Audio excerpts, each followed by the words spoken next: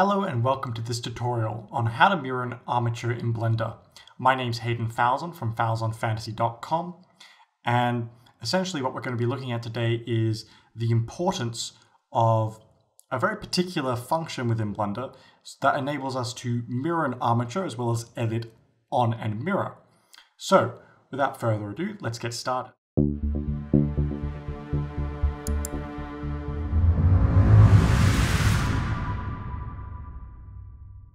So what we're going to be looking at today is we're going to be naming our bones. We're going to make sure that we're working on the right axis. We're going to be looking at how to symmetrize an armature. And I'm going to be highlighting the importance of naming. That one's really important. And then we're going to be looking at how to enable symmetrical editing within Blender. So we're able to edit the armature uh, that has a symmetrical form. So let's get into it. So step one, preparing our bones. So a lot of you may have something such as this in your project where we've created the uh, main root and then we've got our offshooting limbs. Uh, now, some people, what they like to do is they'll grab a limb, for example, this limb, then they'll go Control uh, Shift S, excuse me, and then cursor world origin, and they'll set the pivot point, 3D cursor. This is very valid. Uh, you do have to then affect the rolls, and this is kind of like the manual way of doing things. And then you would duplicate and then scale on the x-axis by minus one. Uh, and then you would have to then edit the roll. So this is one way of going about um, editing as such.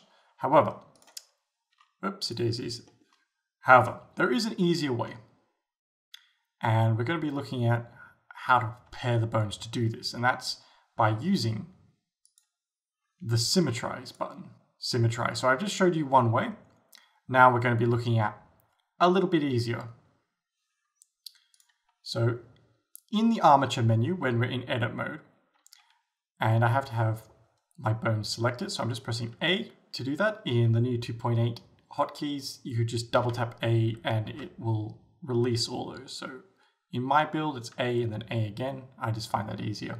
So armature and then find symmetrize. So armature, symmetrize. And as you're going to notice, uh, first things first, only the legs have been symmetrized. Now, why is that? You may ask yourself. Well, there's a very particular reason as to why that is. And it has to do with, if we look at the arm and we look at the legs, there's a fundamental difference between them. And I've got the names showing up for a particular reason. If we look at the legs, they're named in a very particular way. Whereas we look at the arms, well, we just got shoulder, we got arm, we got forearm, legs, left up leg, left leg, left foot. So let's go back. So the names have a drastic effect on the usability of an armature. So as we saw down here, because this was named left and left and left and left, it was able to work out that, hey, I need to symmetrize this because this is the left side of the object. So it flipped it and it renamed it for us, if you noticed. Now this one actually didn't uh, go.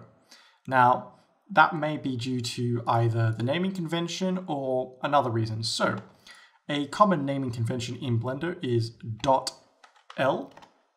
Uh, you can do caps or lowercase, but if you do caps, stick with caps. If you do lowercase, stick with lowercase because it is case dependent. So let's just check that out. Let's see if that actually symmetrizes that. And there we go. We got hip joint.r. See, it's flipped the object, the roll is going to be completely fine, so there's no need to fix that up, and it's going to rename it nicely. So that's the importance of naming and naming conventions. So I'll do it with lowercase l this time, excuse me. So now, with my bone selected, going to come up here to armature, symmetrize, and lowercase r. So Again, naming convention, very, very important. So now let's just go through very quickly and rename all these bones. To do that, we're just going to select them, navigate here to our bone uh, little submenu and we're going to make sure we're in edit mode. And then we're just going to add a .l and in this case I've I'm going to stick with caps in my case. So I'm just going to go through very simply and just name all of this. After we've done, what we should notice now is if I select all my bones by pressing A, uh, if you have a bone already selected and you're using the 2.8 hotkeys, just double tap A to deselect it. Uh, in my case, as I said before at the beginning, I have a different hotkey set up. So now that we've done that, we're going to go to armature and then symmetrize. And we should notice that our entire rig has been mirrored onto the other side, which is very, very useful. Okay, so we've done this. Now, I've highlighted the importance of naming as well. Names are really important. So we may think that names are only for organizational purposes, but they also uh, have a very strong functionality purpose within Blender as well, because we're able to symmetrize an armature as well as other things that I'll be getting onto in just a moment. So it is very important that we have our bones named correctly. A thing to note though is that a single bone can only have a unique name. So you can't have two bones named uh, bone, for example. It has to be a unique name. That's why we add the dot .l and the dot .r if you're working on the right-hand side. Um, and then you're going to go to armature and symmetrize. Very simple. Okay, next we're going to enable symmetrical editing. So let's just say you've done all of that and you have your symmetrical uh, armature set up. Well, what if, for example, you're editing it and then you realize, hey, I actually want to move this joint up just a little bit up here. Well, then I'd have to come in here, maybe edit that, get it perfect on both sides. Maybe let's see, it'd have to go like this, wouldn't I? And try and scale it, and it just becomes a little bit of a mess. Or alternatively, I could delete this whole side, edit this side again, then um, make it symmetrical once again. Again, another possibility. However, some of you may have noticed if we press N or come over here to this little arrow in the corner here, and we look at tool, there's going to be an x-axis mirror option. Now, if we check this x-axis mirror option, and you'll also uh, be able to find it in the active tool up here, um, we're then able to effectively edit on a mirror. However, again, back to our naming conventions.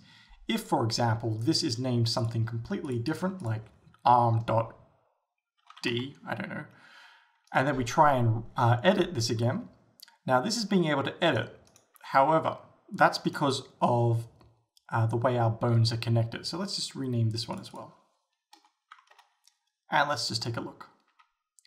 Notice now, because of the names are different, so it's not R, it's D in this example, we're no longer able to use x-axis mirror, which is a bit different to how mirroring in topology works. Um, it's all based off the name. So if it's L, it has to be R. Um, that's just the way it is. Um, I'm unaware if you can change that at all. If you can, please let me know in the comments below. But for now, uh, just always remember L, R, left, right. Uh, again, keeping to your naming conventions. Uh, just to illustrate how case sensitive it is, I'm just going to set this to R lowercase, and I'm also going to set this to R lowercase as well. And let's just see, take a guess now if you think this is going to actually move the mirror. And the answer is absolutely not. So we have to always remember it is case sensitive, and that is why a naming convention, a convention that you are used to or that you're familiar with, is very important. So let's set that up again, and we should notice we now have our editing capabilities back, and that is by pressing this x-axis mirror. So now, just to kind of illustrate the point, in pose mode, this x-axis mirror also works. Uh, excuse the poor weight painting in that case. But as we can see, we're able to then affect both sides with that x-axis mirrors, and it's all thanks to a very simple naming convention. So I hope I've highlighted to you how to uh, create symmetrical armatures and edit them effectively. And that is through a robust naming system that involves .l or .r or right and left. Um, and always remember that it is case sensitive. So if you do do this and it doesn't end up working, uh, please just check the bone names, check that there's no misspelling or weird casings. Uh, that is often the issue. So thank you so much for watching. I hope that you have enjoyed the tutorial and it has been informative. If it has, hit that like button and consider subscribing to this channel for more information in regards to Blender. My name's Hayden Falzon from falzonfantasy.com, signing off.